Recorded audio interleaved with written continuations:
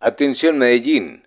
El proyecto de ley para lograr la conformación de la región metropolitana, que pretende crear una figura de asociación real entre Bogotá y municipios de Cundinamarca que quieran vincularse, está entrando en su etapa decisiva. La iniciativa, que nació a finales del año pasado y comenzó su carrera en el Congreso, ya superó en su quinto debate y debe terminar los tres restantes antes del 20 de junio, para lograr convertirse en parte de la Constitución a partir de una reforma. Atención Bogotá. Con sorpresa se llevó a cabo el primer debate del proyecto de acuerdo número 123 de 2020, por medio del cual se adopta el Plan de Desarrollo Económico, Social, Ambiental y de Obras Públicas del Distrito Capital 2020-2024, un nuevo contrato social y ambiental para la Bogotá del siglo XXI.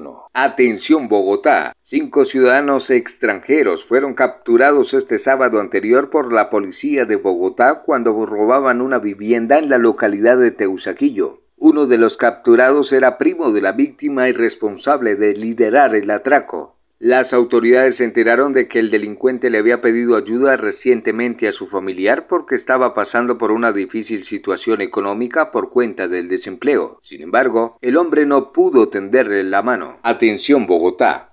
Esta semana se recordó que la capital fue la ciudad que recibió el primer caso de coronavirus en Colombia hace un par de años. Como se recordará, el 6 de marzo del 2020 se reportó que la primera contagiada una joven que había llegado de Milán, Italia, que días después se convirtió en el primer caso de un paciente totalmente curado. Atención Bogotá. Más de 25 migrantes venezolanos se tomaron una calle del barrio Restrepo y retuvieron por más de cuatro horas a funcionarios y vehículos de integración de bienestar familiar. Los migrantes que llevaban varios días viviendo en buses y cambuches rechazaron su traslado a un albergue, pues aseguraron que se trataba de un pagatodo.